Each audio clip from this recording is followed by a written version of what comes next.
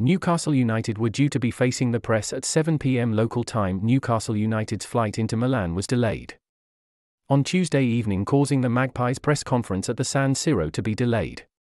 The club's media duties were due to take place at 7 pm. Local time, at the prestigious venue, but a storm in Italy caused flight delays across the country. Milan boss Stefano Pioli held his exchange with the press just after lunch with both Eddie Howe and Sandro Tonali due to be in attendance with over 50 media representatives this evening.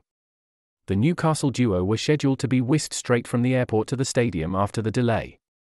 Read more, pressure is for tyres, hilarious Callum Wilson gag after penalty heroics Read more, Newcastle rocked by Joelinton blow. Ahead of Milan trip Newcastle did not train at the San Siro but they were never scheduled to as they opted to work at Benton at lunchtime. Meanwhile, AC Milan boss Stefano Pioli said earlier, We know how tough this group is, PSG probably have a slight advantage compared to the others, but the group is evenly balanced and every point will prove vital. We're aware how important it is to start off well.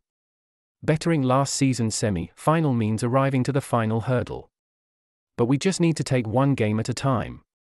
Newcastle are the classic English team, intense, aggressive, physical but also highlighting their technical quality. It'll be exciting to meet back up with Tonali, as it will for him to see AC Milan again. Sandro was very important in our growth, which took us to the title, so well receive him with great affection. AC Milan's press conference wasn't without hiccups after power cuts at the club's training ground.